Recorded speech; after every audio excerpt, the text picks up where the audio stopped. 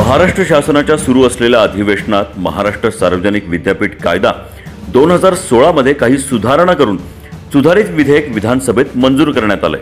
या विधेयकानुसार उच्च शिक्षण मंत्री यांनी राज्यातील विद्यापीठांच्या प्रकुलपतीपदी नियुक्ती करावी ही शिफारस म्हणजे शिक्षणाला राजकीय अड्डा बनवण्याचा आघाडी सरकारचा घाट आहे. शासनाने कुलपती तथा राज्यपाल तसंच विद्यापीठाच्या स्वायत्त त्यात हस्तक्षेप करणारा निर्णय पारित केलाय. या माध्यमातून विद्यापीठात नवीन वाजन निर्माण करण्याचं काम महाविकास आघाडी सरकारतर्फे करण्यात येत आहे. असा आरोप भाजप युवा मोर्चाचे जिल्हाध्यक्ष रोहित चांदवडे यांनी करत विधेयकाच्या प्रती जाळून निषेध केलाय. विद्यापीठाचं स्वायत्त म्हणजेच विद्यापीठावरचा राजकीय हस्तक्षेप नसताना सध्याच्या ठाकरे सरकारने नवीन विद्यापीठ अनुच्छेद दोन हजार सोळा नुसार सेक्शन अकरा सबसेक्शन तीन यामध्ये बदल करून विद्यापीठाचं स्वायत्त रद्द करण्याचं काम या ठाकरे सरकारच्या माध्यमातून झालेलं आहे.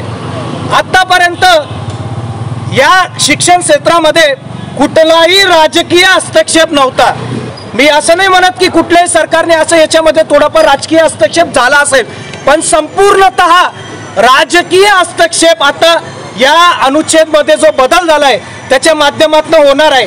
त्यामुळे भारतीय जनता पार्टी भारतीय जनता युवा मोर्चाच्या माध्यमातून संपूर्ण राज्यभर या विषयाचं निषेध आंदोलन या अनुच्छेद जो बदल करण्यात आला आहे ते जाळून आम्ही निषेध करतोय. आणि यापुढे या ठाकरे सरकारच्या माध्यमातून या विद्यापीठांच्या हक्काच्या जागा खाजगी संस्था आणि स्वतःच्या कार्यालयांसाठी सुद्धा वापरण्यात येईल. ही हमी आता या ठाकरे सरकारने या कायद्यामध्ये बदल करून करण्यात देण्यात आलेला आहे. अरे विद्यापीठ स्वायत्त रद्द करणाऱ्या या ठाकरे सरकारचा. अरे शिक्षणाचा पादारी करणार करणाऱ्या या ठाकरे सरकारचा अरे विद्यापीठाच्या मोक्याच्या जागा खाजगी संस्थांच्या गळ्यात घालणाऱ्या या ठाकरे सरकारचा